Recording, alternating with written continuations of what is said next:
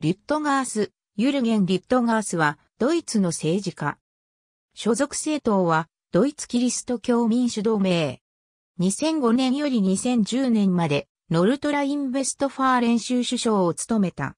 その他1994年から1998年までヘルムート・コール内閣で連邦教育、科学、研究、技術相を務めた。電気技師の息子としてケルンに生まれる。ブラウバイラーの小学校に通い、ボーイスカウト活動に打ち込んだ。1961年にケルンリンのギムナジウムに入学。1969年にアビトゥーアに合格後、大学で法学、歴史学を学ぶ。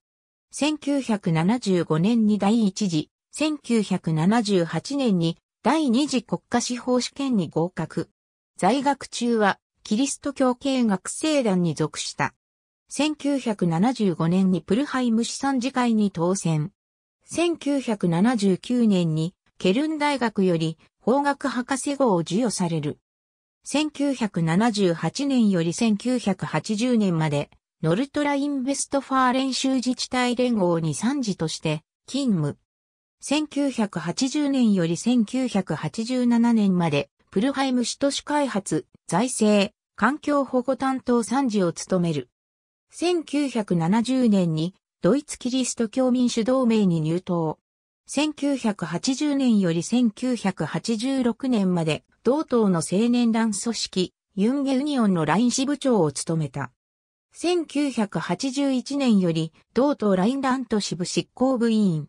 1985年、同党ラインエルク基部代表に就任。1987年、ドイツ連邦議会議員に初当選。技術評価委員会に属する。1989年に議会経理担当、1991年から1994年まで、セディ、CS 連合連邦議会議員団主席経理担当を務める。1993年、ノルトラインベストファーレン州党副代表。1994年の連邦議会選挙後、ヘルムート・コール内閣に教育、科学、研究、技術大臣として入閣。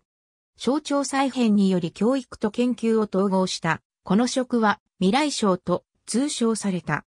在任中、学生に対する修学助成金の受給制限を設けるなどした。また各州と共に学士号、修士号制度や在学年限、教授に対する教育能力試験の導入を図ったが、連邦参議院で否決され失敗した。また電信、インターネットにおける情報保護法への道を開いた。また倫理上の議論があったバイオテクノロジーを強力に支援し、連邦教育科学省からは毎年9億ドイツマルクがその分野に投じられていた。1998年にはソルボンヌ宣言に署名し、英読不追間の大学連携協会への道を開いた。1998年の連邦議会選挙後、コール内閣の退陣に伴い離職し、当連邦議会議員団副団長に選出される。ルパート・ショルツの後任として内務、法制分野を担当した。1999年、前任者、ノルベルト・ブルームの辞任に伴い、党の州代表に就任。翌年、4人いる CDU党首代行の一人に就任した。2000年、ノルトラインベストファーレン州議会選挙に出馬して当選し、連邦議会議員を辞す。この選挙では、州首相候補として、現職のボルフガング・クレメント州首相に挑んだが、折しもセディを襲っていた。コール政権時代の不正献金疑獄や、同州選出のローラント・ポファラ連邦議会議員の脱税疑惑の影響もあって敗れた。州議会では、セディ議員団長を務めた。2005年の州議会選挙では、州首相候補として選挙戦を指揮し、現職のペール・シュタインブリュック州首相率いるスピードに勝利し、自由民主党と連立政権を樹立した。同州で39年続いたスピード政権を退陣に追い込んだ。これに衝撃を受けたゲアハルト・シュレーダー連邦首相は、連邦議会選挙の前倒し実施を決断した。2000年の州議会選挙でインド人より子供たちをと述べたように外国人専門労働者のグリーンカードによる招聘よりも国内での教育の充実を主張している。また国民に反感の強い遺伝子組み換え食品導入を推進した。